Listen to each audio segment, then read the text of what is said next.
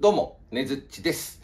えー、ジャイアンツがですね、4試合連続で満塁ホームランを浴びるというね、えー、びっくりするね、本当に。史上初のことらしいですけどね、まあ、4試合、ホームランだけじゃないからね、満塁ホームランだからね、えー、それを4試合連続、えー、言ってみたらあれですね、あの、ワイルドだろうの芸人がね、しょんぼりしてるようなもんですよ。どういうことかって、暗いすぎっていうね、えー、ちょっと暗いすぎだと思いますけどね。まあ、しかし試合の方は10対8で逆転勝ちしたんですね。えー、よく勝ちましたよ。えー、これで連敗が5でストップということでね、え今年のジャイアンツはちょっとね、今4位ですからね、え言ってみたら、こんがらがった電気コードみたいなもんですね。え配線が多くて困っちゃう。ねずっちです。え頑張ってほしいです。